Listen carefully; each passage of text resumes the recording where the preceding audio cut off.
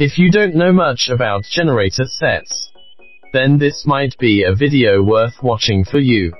It can help you quickly understand the basic structure of a generator set canopy in less than a minute.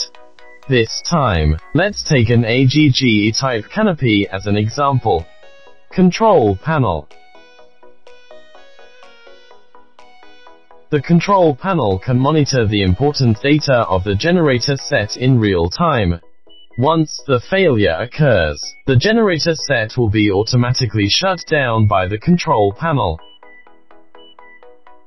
Cooling area. To ensure the normal operation of the generator set. Lifting lugs.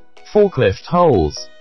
Convenient for the transportation uh, a ND installation of the generator set. Emergency stop button. In case of emergency, pressing the button can quickly stop the generator set to ensure safety. Fuel filling port. Anti-theft design is adopted to protect the safety of fuel tank. The generator set canopy introduction video ends here. If this video is helpful to you, please feel free to like it. Let us know in the comments below if you have more topics you'd like to know about.